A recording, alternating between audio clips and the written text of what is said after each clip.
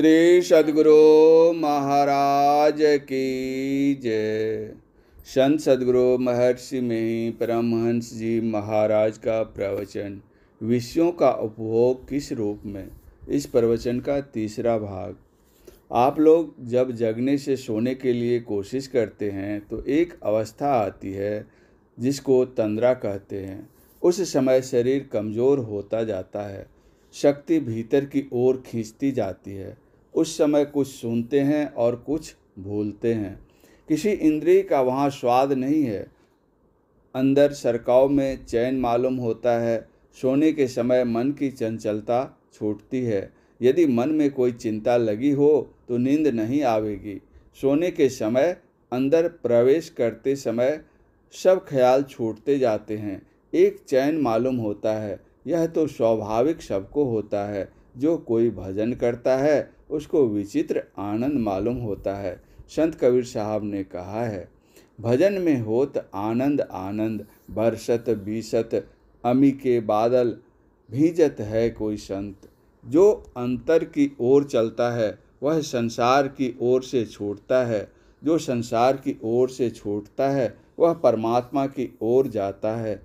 जो उस दसवें द्वार से गुजरता है, वह मोक्ष की ओर जाता है। वह भक्ति करता है। दसवें द्वार की ओर जाना भक्ति करनी है। जिसने इस मनुष्य शरीर को पाकर अपना परलोक नहीं सुधारा, वह दुख पाता है। परलोक दो तरह के होते हैं, एक स्वर्गादि और दूसरा मोक्ष। यहाँ परलोक स्वर्गादि के लिए है। इसीलिए भगवान श्री राम ने कहा, सो परत्र दुख पावई, सिर धुनि धुनि पछताए काल ही कर्म ही ईश्वर ही मिथ्या दोष लगाए। अर्थात, जो मनुष्य शरीर पाकर अपना कल्याण नहीं कर लेते हैं, वे अंत में दुख पाते हैं और सिर धुन धुन कर पछताते हैं। वे काल कर्म और ईश्वर को झूठ ही दोष देते हैं। ईश्वर की बड़ी कृपा है कि मनुष्य का शरीर मिला है। ईश्वर की विशेष कृपा को आप प्राप्त कर सकते हैं। जब आप परमात्मा का भजन कीजिए, काल आपके अधिकार में है।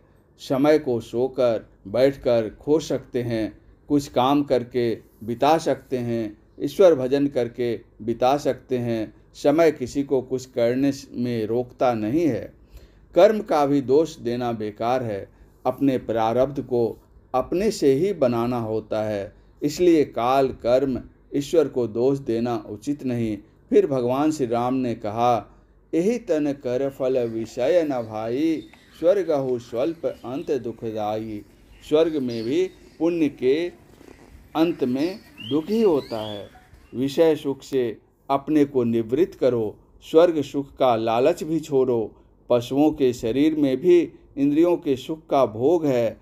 मनुष्य भी यदि इंद्रियों के भोगों में बढ़ते तो पशु से क्या विशेषता हुई? भगवान राम ने कहा पंच विषयों से पर पदार्थ के लिए चेष्टा करो। अर्थात परमात्मा को प्राप्त करने कहा। भगवान राम ने कहा, नर्तन पाई विषय मन देही, पलटी सुधा ते सठ विषय लेही। ताही कब हूँ भल कहीं न कोई, गुंजा ग्रह पारस मनि खोई।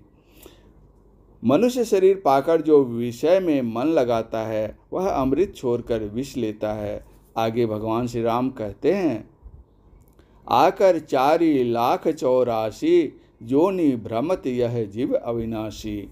अंडज, पिंडज स्वेदज और उष्मज, इन चार खानियों में चौरासी लाख योनियाँ हैं। माया की प्रेरणा से काल, कर्म, स्वभाव, गुण के घेरे में पड़कर सदा अविनाशी जीव घुमा करता है। मनुष्य चौरासी लाख योनियों को भोगते हुए आया है।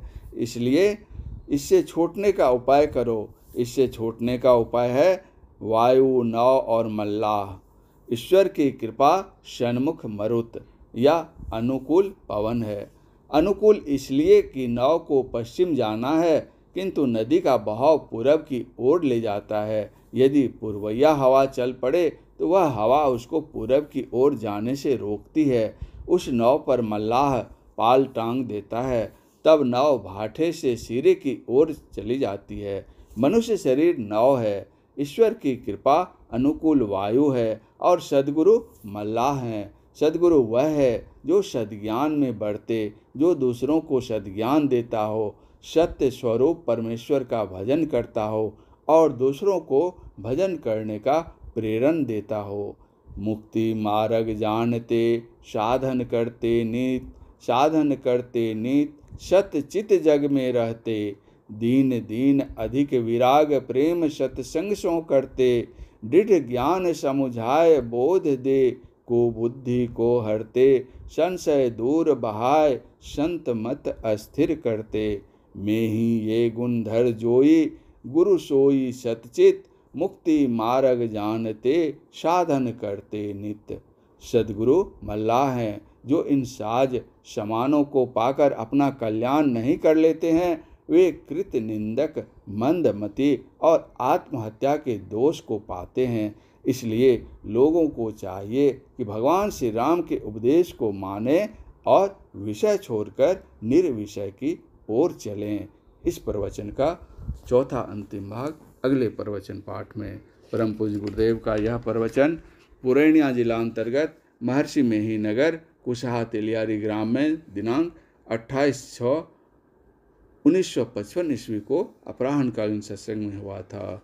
श्री सदगुरु महाराज की जय।